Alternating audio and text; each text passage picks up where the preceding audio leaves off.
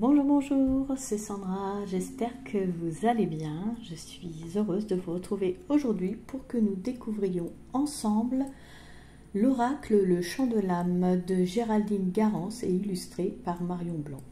Alors si le nom de Géraldine Garance ne vous est pas euh, tout à fait euh, inconnu, c'est normal. Je l'ai préparé parce qu'elle a fait euh, aussi un autre jeu, ça fait un petit moment hein, quand même déjà, donc le tarot des flammes jumelles qui est vraiment euh, un, jeu très très bien que j'utilise moi, alors pas forcément aussi pour les flammes jumelles, euh, je l'utilise pour le sentimental et il répond très très bien. Donc voilà la petite aparté. Revenons à son nouveau, donc le chant de l'âme. Là, donc illustré par Marion Blanc. Pour l'autre, c'était Bénédicte Gonzalez. Elle n'a pas pris la même illustratrice. Alors pour ce coffret, il est paru aux éditions Exergue. On voit ici qu'il est composé de 52 cartes. Alors à l'intérieur, il y a un petit livret d'accompagnement. Si vous souhaitez vous le procurer, il est au prix de 26 euros. Donc il s'ouvre sur le côté comme ça. Bien jaune à l'intérieur. Alors, jaune et mauve foncé, violine, enfin, très très joli. Je trouve que les deux, ces deux couleurs vont bien ensemble. On voit que le titre de l'oracle ressort en, en, doré avec les petites étoiles aussi qui ressortent. Très joli coffret. Alors, je pose la boîte sur le côté, on découvrira les cartes après. On va commencer par le livret hein, qui, voilà, qui est pas trop petit, pas trop gros. Il a quand même, euh, il me semble, 100, 195 pages. Que l'on va découvrir tout de suite. Alors j'aime beaucoup la police, vous allez voir sur les cartes, c'est écrit comme ça, les, les mots-clés ou les phrases courtes pour euh, la signification de la carte. Et vous l'aurez vu, un livret en couleur avec la miniature en couleur aussi. Voilà. Donc le sommaire avec euh, la présentation des cartes. Donc là on voit qu'il y a déjà qu'il y a deux catégories. Les cartes du champ de lettres et les cartes du champ de l'avoir. Alors il y en a 26 par, euh, par catégorie.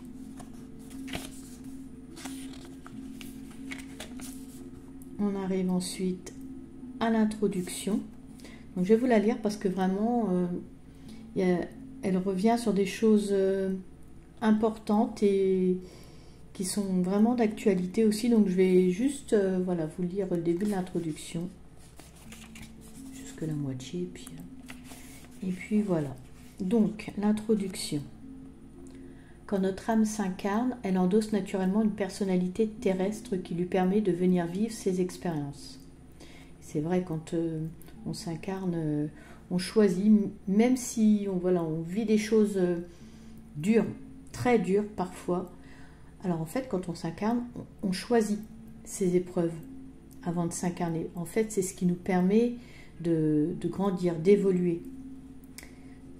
Donc, nous commençons à entendre le chant de notre âme lorsque notre personnalité égotique nous libère de nos blessures et souffrances et laisse ainsi de plus en plus de place à l'expression de notre vrai moi. Notre âme se révèle alors pleinement pour vibrer la lumière, chanter l'amour inconditionnel, la joie, la pureté d'être, l'équilibre et la complétude en soi. Il se produit ainsi un alignement cœur, corps, esprit, âme et un juste centrage dans notre vie. Notre âme a en effet soif d'évolution et les énergies planétaires actuelles et en cours depuis quelques années déjà, mène à de profondes transformations, des transmutations du sombre vers la lumière, tant sur le plan collectif que sur le plan individuel.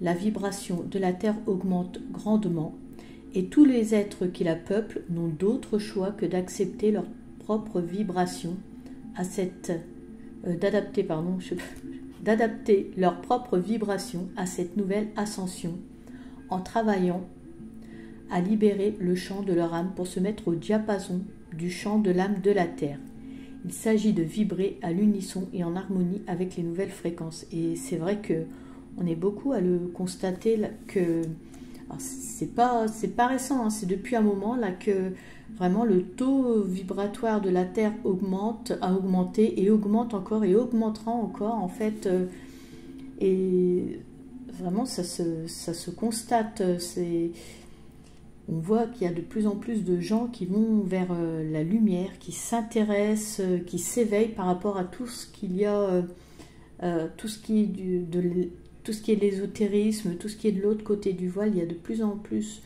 de personnes qui cherchent à comprendre, à, s'instruire là-dessus, et c'est ce qui fait voilà qu'on évolue. La planète euh, augmente son taux euh, et vraiment vibre de plus en plus vers la lumière. Donc ça, c'est quelque chose de très bien. C'est pour ça que je voulais le redire parce que, en fait, c'est super important, c'est bien expliqué et, euh, et, voilà, je trouvais bien de, le redire.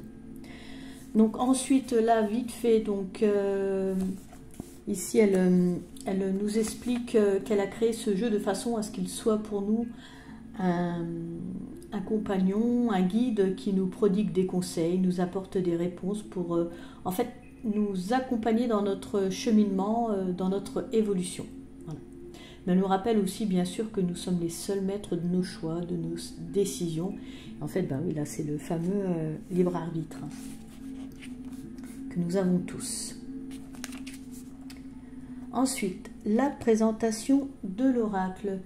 Donc là, elle nous dit euh, qu'il est composé de 52 cartes, que chacune comporte euh, un message court. chaque carte comporte un petit message court en bas, vous verrez. Et euh, donc, elle nous explique aussi dans le livret comment c'est constitué. Donc, il y a ah ben, le chant de l'âme, je tombe sur ça. Donc, il y a un, message, une, signification là, ici, une signification. Pour chaque carte, ce sera comme ça. Euh, qui complète euh, en fait la carte. Vous, vous, voyez l'illustration, la petite phrase courte, mais après, donc là, vous avez la signification. Ensuite, euh, il y a une explication qui est liée à sa catégorie. Donc là, c'est le champ de lettres. Donc vous avez une explication par rapport à la catégorie. Ensuite, là, le message du champ de ton âme c'est en fait euh, un message euh, de votre âme pour vous aider à vous réaliser. Ensuite, il y a des mots-clés plus et moins. Donc là, c'est des significations positives et négatives. Voilà. Donc là, ici, elle, elle revient sur tout ça. Elle nous décrit, elle nous dit qu'il y a deux catégories être et avoir. Donc là, en fait, on retrouve toute notre dualité, nos problématiques d'être incarné. Et en fait, le but est de trouver euh, un équilibre, son équilibre en fait. Euh, voilà, et que ce jeu va nous permettre d'arriver à cela. Donc euh, ici, elle nous détaille un petit peu, elle nous explique les catégories, les cartes du champ de l'être, donc elle nous dit que ce sont des cartes d'introspection. Les cartes du champ de l'avoir. Donc là, ce sont des cartes matérielles, de situations concrètes. Et que ces deux catégories se, se combinent. En fait, elles apportent des précisions matérielles, psychologiques et spirituelles. Voilà. Ensuite, là,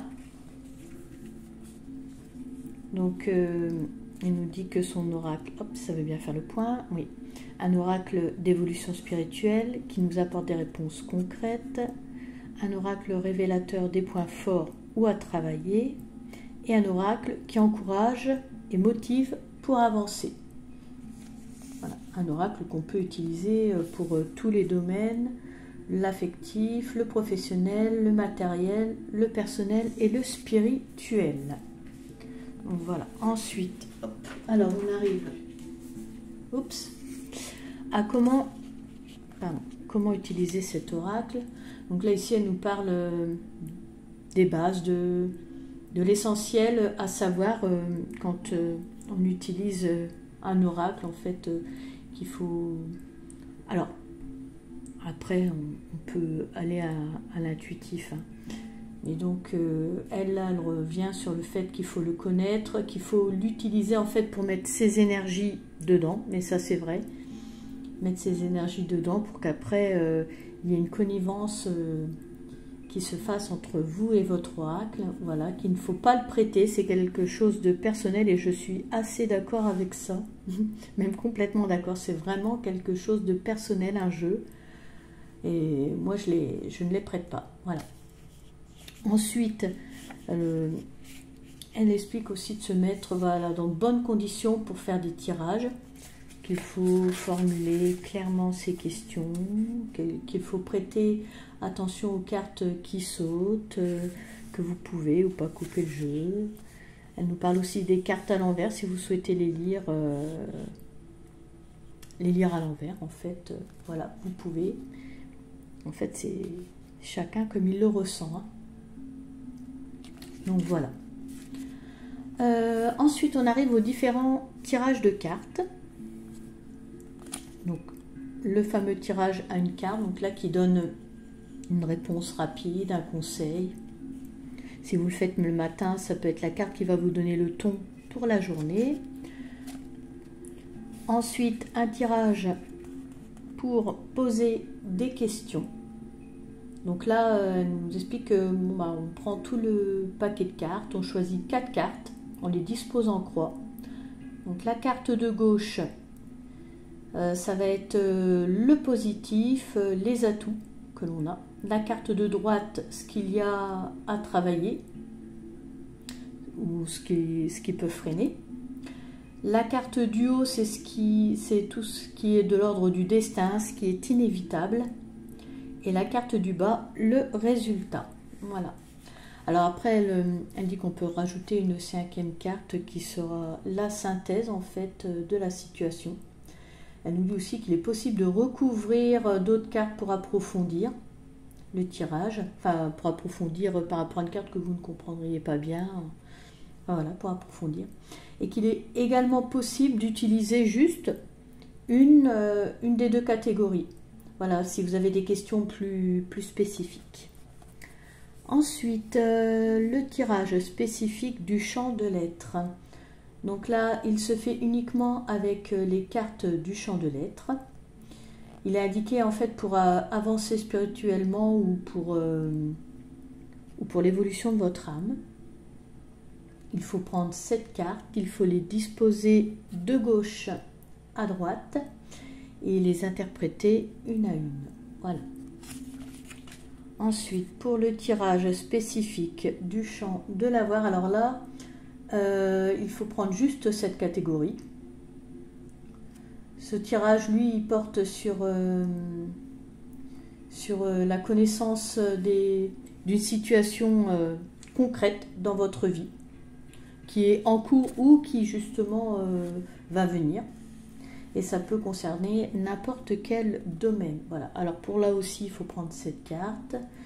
Toujours le même principe, cette carte, vous les, vous les alignez de gauche à droite et vous les interprétez. Voilà. Alors pour le tirage du champ de l'âme, donc là, en fait, elle dit qu'il faut utiliser toutes les cartes. Il permet de découvrir différentes situations sur votre vie selon les domaines euh, qui, qui ressortent en association avec les domaines spirituels, émotionnels et psychologiques. Voilà.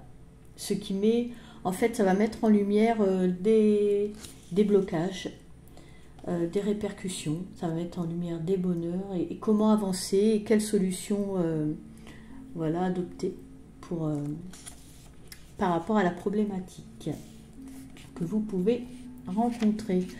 Euh, donc là, elle, euh, elle nous dit qu'on peut piocher entre 5 et 8 cartes. Alors après, c'est comment vous le sentez. Voilà, entre 5 et 8 cartes.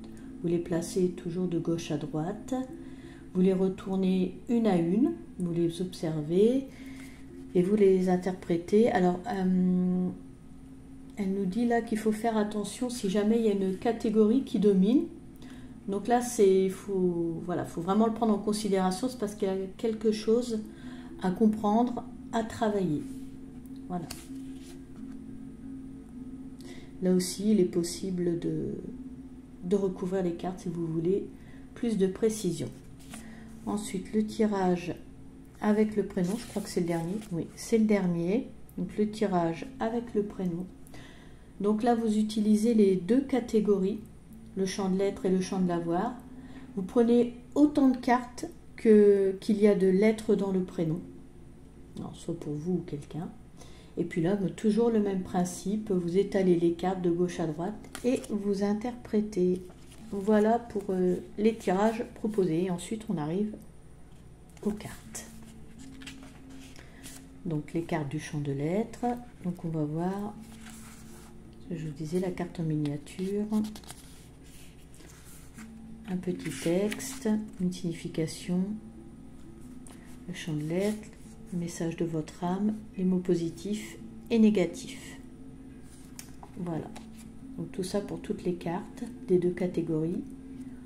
Et pour finir, on a un mot à propos de l'auteur et un mot à propos de l'illustratrice. Voilà, pour ce qui est du livret. Hein, il y a quand même pas mal de petites choses euh, à voir.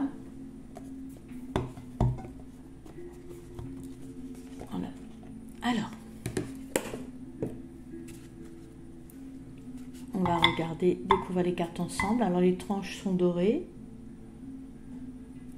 Alors, la dorure est bien faite parce qu'elle ne colle pas entre elles, donc c'est très bien. Ça n'abîme pas les cartes quand vous l'achetez. Le dos est violet avec des étoiles jaunes. C'est pas glossy, donc euh, ça va être bien même pour la présentation là. Allez.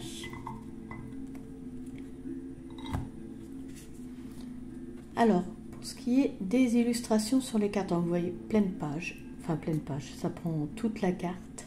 Et ça c'est bien, j'aime bien quand il n'y a pas de contour petit, la petite phrase courte pour euh, donner euh, la signification de la carte, pour ceux qui en ont besoin. Donc c'est pas, pas chargé, j'aime bien la police, comme je vous le disais, c'est j'aime bien. Voilà. Alors là, on est au gré du vent.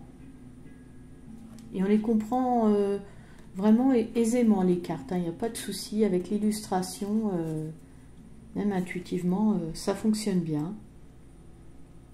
Il n'y a pas de numéro sur les cartes, comme vous avez pu le constater. Euh, c'est par ordre alphabétique. Voilà, changer de perception. Donc là, on est sur la catégorie du champ de lettres. Choisir la lumière.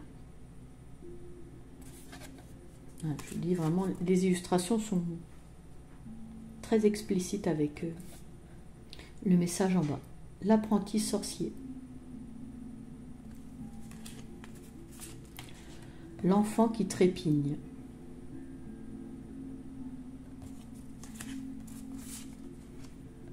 L'instrumentalisation.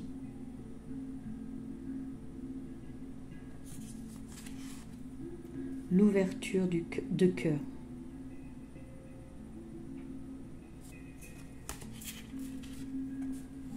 Elles ont vraiment quelque chose qui est...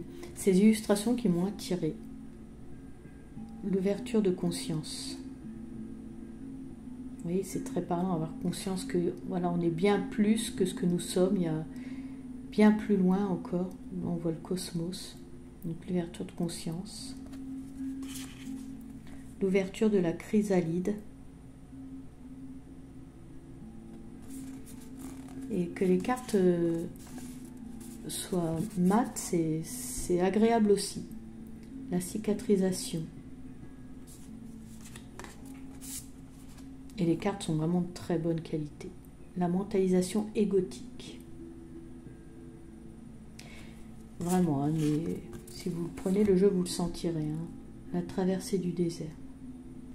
Parce qu'il y a des jeux, même à l'ouverture, on sait que on va les manipuler, ça va, ça va mal, comment dire, vieillir euh, avec le temps la visite du temple. La voie du milieu.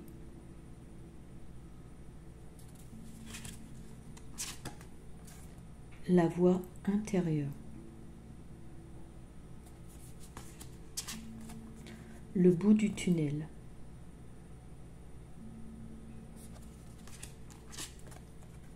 Le brouillard danse.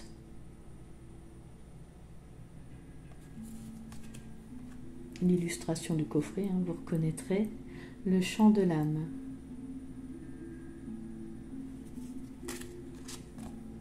Le chemin initiatique.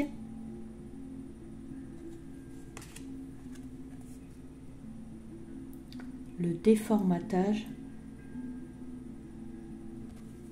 Donc on a vu là la catégorie chandelette et tout ce qui est euh, l'introspection. Le délestage du fardeau. Le divin en toi. Le saut à l'élastique.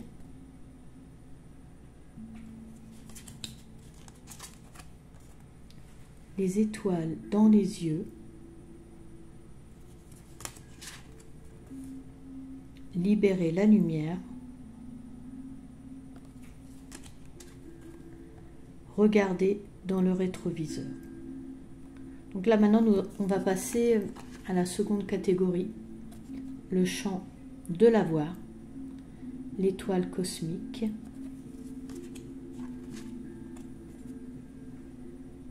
l'information du jour,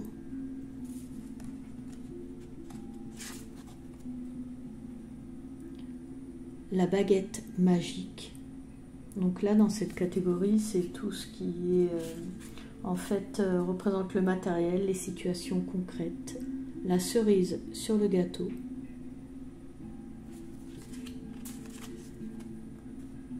La clé du paradis.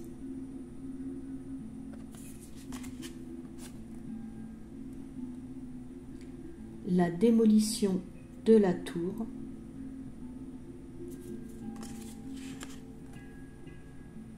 La fête du village.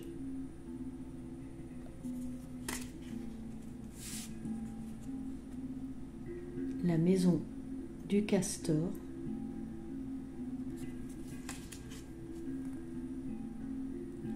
La mise en lumière. Après, c'est vrai que je vous ai détaillé tout ce qu'il y avait dans le livret, euh, point de vue euh, tirage, mais c'est un jeu vraiment, je, je trouve, qui, qui permet aisément de, même sans étudier euh, le livret, parce que là je souhaitais vous présenter son travail, euh, vous détailler le livret, mais en fait, euh, la roue du moulin, mais en fait vraiment, on peut faire à l'intuitif. Hein. La signature du parchemin. Alors vous avez peut-être remarqué quand je retournais les cartes, le dos des cartes pour les deux catégories est le même, donc on ne peut pas quand les cartes euh, sont retournées, on ne peut pas voir quelle catégorie euh, c'est. La toile de connexion.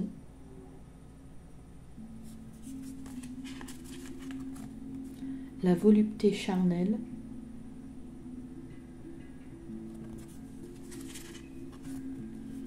Le coup de poignard.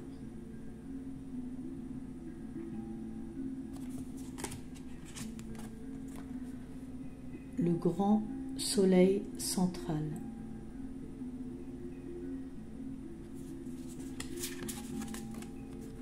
Le groupe de dauphins.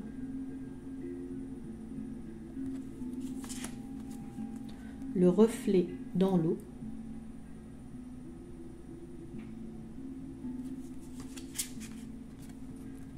Le V de la victoire. Les barrages et les barricades,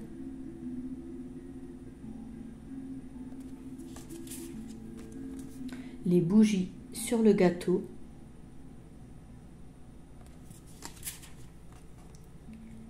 les bourgeons du printemps,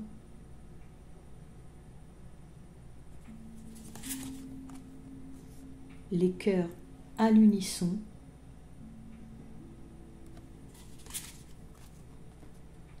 les coups de bâton,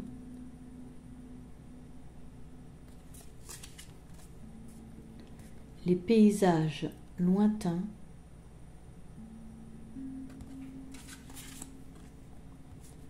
les réserves de l'écureuil, Et la petite dernière, les sables mouvants.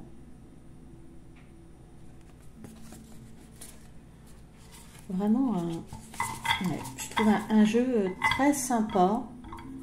Euh, certaines cartes euh, abordent enfin, voilà, des, sujets qui changent, en tout cas d'une façon différente. Euh, non, vraiment du positif avec, avec ce jeu. Donc cette présentation touche à sa fin. J'espère qu'elle vous aura plu, qu'elle vous aura peut-être donné l'envie de vous procurer ce très beau et très utile coffret du chant de l'âme. Avant de nous quitter, euh, je vous invite, si vous le souhaitez, à liker, à commenter, donnez-moi votre avis sur, euh, sur cet oracle. Voilà, ça me ferait euh, plaisir d'avoir vos ressentis, qu'on partage ensemble. N'hésitez pas non plus à vous abonner et à activer la cloche pour ne pas rater mes prochaines vidéos. Pour ma part, je vous remercie de m'avoir suivi. Je vous remercie également pour votre soutien. Je vous souhaite du bonheur dans votre vie. Comme nous sommes en fin d'année, je vous souhaite euh, de, de belles fêtes de fin d'année. Et je vous dis euh, à très bientôt. Au revoir.